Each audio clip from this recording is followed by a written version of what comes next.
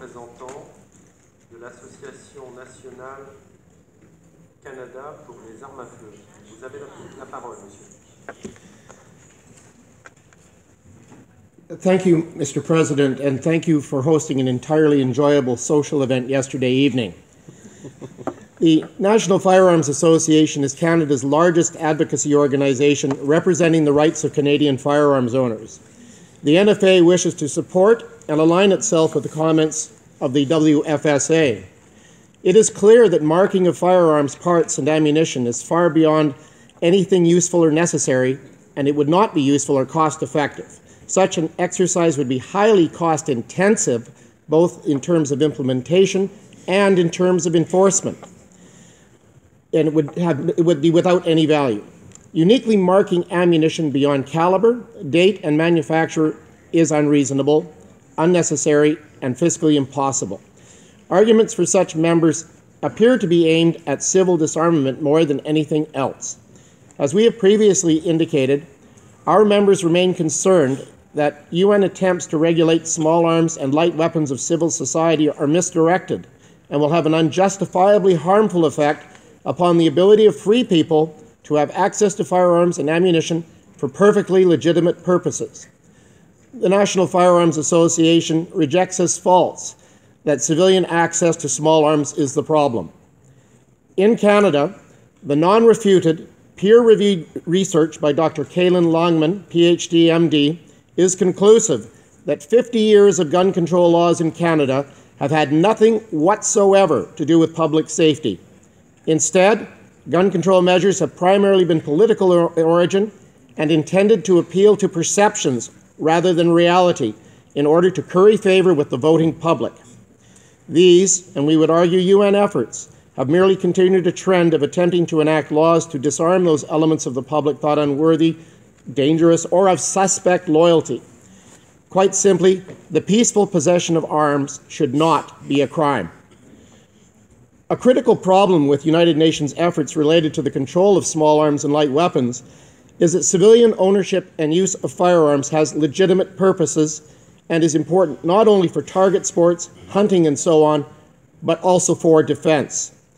It is apparent from our interactions with the UN that many of the advocates of UN firearms positions are basically opposed to civilian ownership of firearms. They, and much of the UN ODA staff, are in effect anti gun. This situation has created an inherent bias at the UN against civilian firearms ownership and use, as well as significant opposition to the information presented by users and the expertise provided by manufacturers of firearms and ammunition. The bias prevents acceptance of accurate information. This bias against civil ownership of firearms does not lend itself to addressing the real problems of international mass violence. It continues to force user groups and manufacturers into an oppositional role with the UN.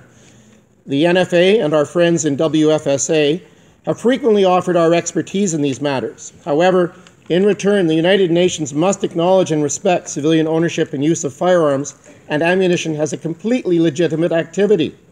Perhaps some balance in staffing at UN ODA may be useful in building a better relationship.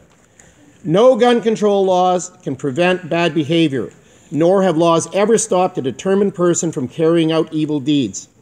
Furthermore, if the purpose of law is to change behavior, it cannot succeed if perpetrators fear no sanction.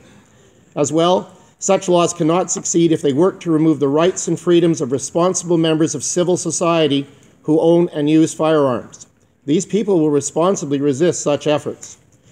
Canada's National Firearms Association continues to recommend that controls on small arms and light weapons be limited solely to major crew served weapon systems possessed or sold by nation states not individually operated firearms owned or desired to be owned by civilians.